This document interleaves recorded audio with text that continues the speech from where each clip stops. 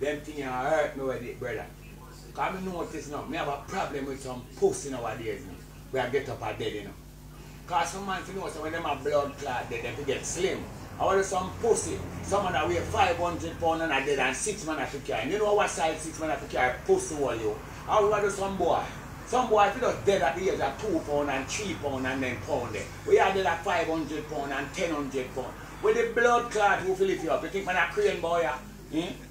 Just suck on mama thing and dead light, I know. I want to some boy. And some big girl, some big girl where them breasts bigger than me. All the blood clot when expect people lifting up when you're not dead. Yeah? Yeah?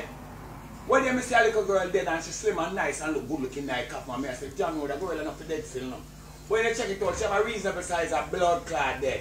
Then see one big fat man pick up blood clot, a three times the people them fall down to carrying the blood clot shirt, must just reach the funeral spot.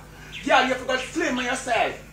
When you you have a blood clot, they don't feel a problem and get fret on a mad and and tremble and look like when you don't have AIDS and then you just dead and we don't know say, yo, I use the thing to carry guy grave.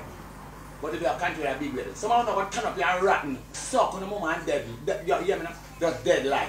I'm gone. We're gonna chat you now, suck on the mother. Come here, sit it that all who big and fat and dead, stay up here and rotten. Who slim and nice, go on, go bury here. Or, I count our bear, no blood.